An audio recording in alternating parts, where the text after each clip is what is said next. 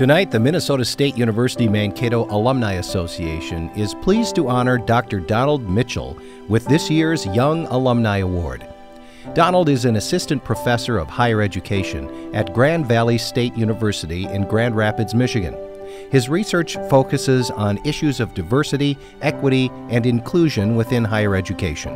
MSU means achievement and big ideas. So MSU is where I've received guidance to pursue my big idea to shape the future of higher education through teaching, research, service, and administration. So I'm forever grateful that MSU was a part of my educational journey. Donald is a native of Portsmouth, Virginia, where his mother supported him by working extra hours and leaving checks on the stairs to cover college application fees. With her support, he became a first generation college student at Shaw University. I would like to thank my family for all of their support because they personify my tattoo for those I love, I will sacrifice.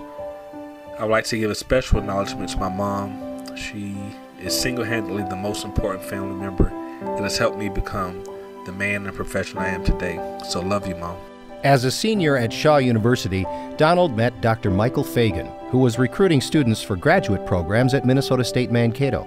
As a result, Donald successfully applied to enter the Master of Science in Education Leadership program, where he had the opportunity to learn from and work with Dr. Lynn Akey, Dr. Sharice Truesdale, Dr. Julie Carlson, and Dr. Henry Morris, as well as his academic advisor, Professor Jasper Hunt. Dr. Jasper Hunt, professor of experiential education and educational leadership. He was my academic advisor and he supported me from day one. I was also fond of his classes because they were so uniquely organized. For example, in our leadership studies course, we read about the life of Dr. Martin Luther King Jr. to study different leadership theories. So I was a bit nervous about graduate courses coming in, but Dr. Hunt was a reason I transitioned well because of his support, his teaching style, and his intentionality. Donald had opportunities outside the classroom too. For example, he was able to shadow the provost and was the only student participant at the Minnesota State Mankato Foundation retreat in 2007. Oh, and he experienced Minnesota winters as well. I lived about a half a mile from campus. I can remember walking to the bus stop during the winter and being introduced to Minnesota winters. The frozen tears is something I will never forget. Though he now lives far from that vale of frozen tears, Donald keeps tabs on what is happening at Minnesota State Mankato.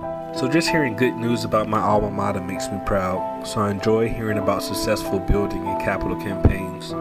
I enjoy hearing about sports teams winning conference and national championships. I enjoy hearing about faculty and staff being recognized locally, regionally, nationally, and globally. I also enjoy hearing about MSU because we're well positioned as one of the top two institutions in the state.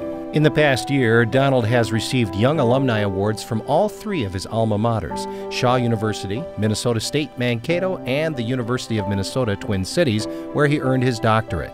So for me, it just reinforces that I chose the right institutions, that I've met the best mentors and role models, and that my institutions have prepared me well to pursue my goals and my passions, and I couldn't have asked for more. My proudest moments include engaging students in my scholarly work and just helping students reach their goals. What people did for me while I was at MSU.